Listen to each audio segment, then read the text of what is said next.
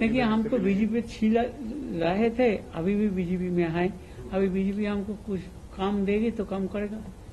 तो मुलाकात तो रिजाइन करने का बात नहीं है हम तो टीएमसी में नहीं आई ऑलरेडी रिजाइन कर दीजिए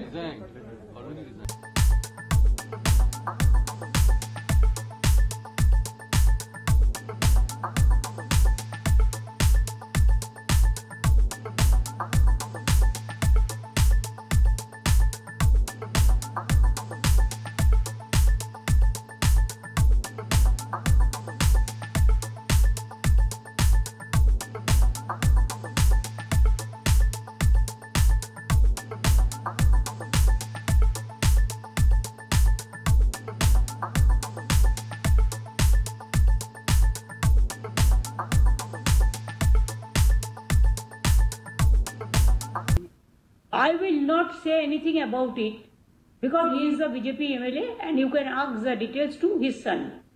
And this is a very small matter, so we don't care. Hmm.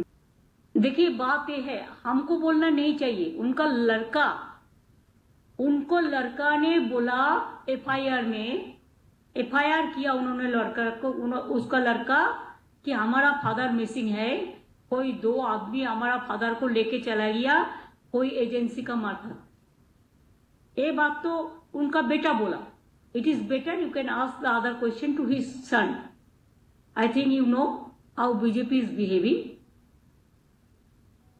मे भी कोई थेट टेट किया था, कुछ किया था।